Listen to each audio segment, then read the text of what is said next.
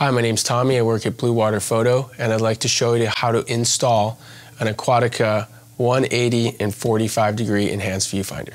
So when it comes to actually installing the viewfinder, either 45 or 180, it's actually quite simple. You'll find an O-ring that sits over the inside. And what I like to do is kind of pinch that together and then remove that O-ring. And from there, you really just have to push the original viewfinder out. And that removes just like that.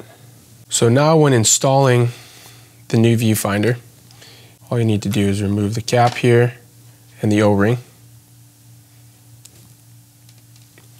From there, you're going to push through the through the back of the housing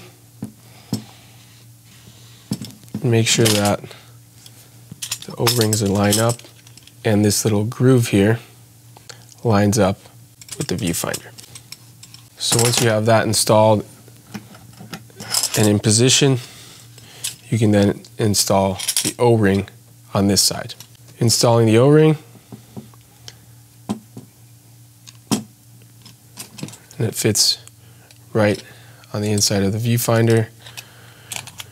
And now your new viewfinder is installed on the housing.